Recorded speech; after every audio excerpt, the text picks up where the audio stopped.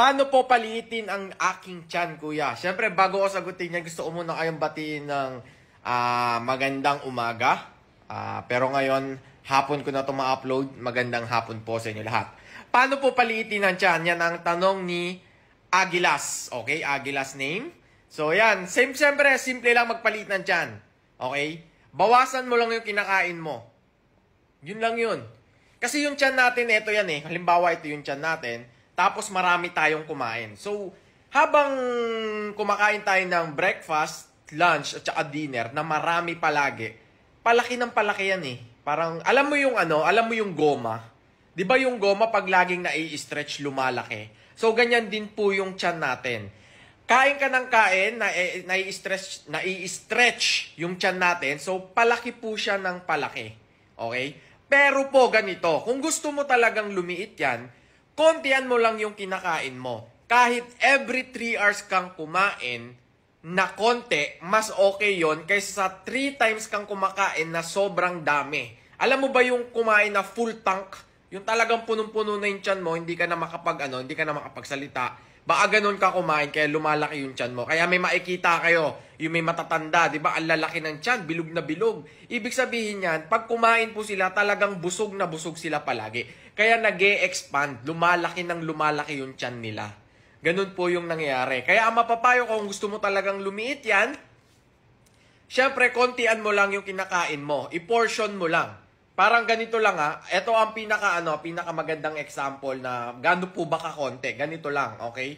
Yan, kahit every 3 hours kang kumain, basta yung kinakain mo ganito lang kaonte. Kasama na dito yung kanin, ulam mo, tiyan, tsaka mga gulay-gulay mo. Yan. Kahit every 3 hours kang kumain pag nagutom ka. Okay yon liliit po yung tiyan natin. Kasi yung tiyan natin, mararamdaman niya, uy, onti nang kinakain nito ah. Parang paliit ng paliit po yon Kasi yung goma pag na-stretch, tapos hindi mo na siya na-i-stretch, lumiliit, bumabalik siya sa dati.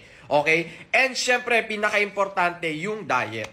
Yung nutrition na pinapasok mo sa tiyan mo. Syempre, kung puro fast food, puro junk food, puro soft drinks, puro sugar, yung pinapasok mo sa katawan mo, syempre, lalakit, lalaki yan. Hindi lang lalaki, magkakabilbil ka pa. Okay? So, mapapayo ko sa'yo, umiwas ka sa junk food, fast food, sa mga dilatang pagkain, sa matatamis na pagkain yan. Iwasan po natin yan.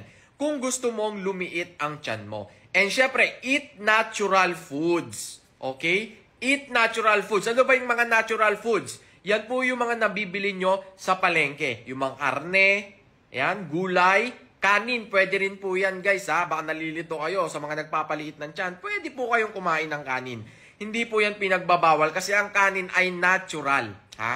Mas uh, ang hindi okay yung mga, halimbawa, kain ka ng pizza. Kasi yung pizza na yan, eh, matagal sa tiyan yan. Kasi hindi mo mababurn agad yan. Kasi nag expand pa yan sa tiyan natin. Yung, yung tinapay, alam niyo yung sponge, di ba? Pag nababasa yung sponge, lumalaki yan eh. Parang ganun po yung tinapay. So pag kumain ka ng tinapay, akala mo yun na yun. Hindi mag expand pa yan sa tiyan mo. Kaya medyo matagal siyang i-burn. Okay? And yung mga noodles, yung mga pansit, yan. Yung mga pansit, instant noodles. Yan po ang pinakapangit sa lahat. Okay?